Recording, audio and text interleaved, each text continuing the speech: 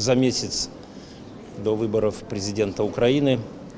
Ситуация накалилась э, до, можно сказать, военного состояния, до применения армии против граждан Украины, до э, помещения в застенки политических конкурентов, вместо того, чтобы они могли свободно участвовать в э, дискуссиях, дебатах, в митингах, они томятся в застенках украинских тюрем. Поэтому уже сейчас можно с уверенностью сказать, что такая предвыборная кампания не может э, привести к легитимным выборам. Когда во время выборной кампании ты обещаешь, не забывай, что после выборов наступает новый день, и этот день тебе придется с избирателем встречаться. На следующий день после выборов президента Украины начнется нормальная жизнь. И человек, пришедший к власти нелегитимным путем, будет чувствовать себя изгоем, и не только в своей стране. Поэтому, конечно, хотелось бы, чтобы пришел человек профессиональный, легитимным образом,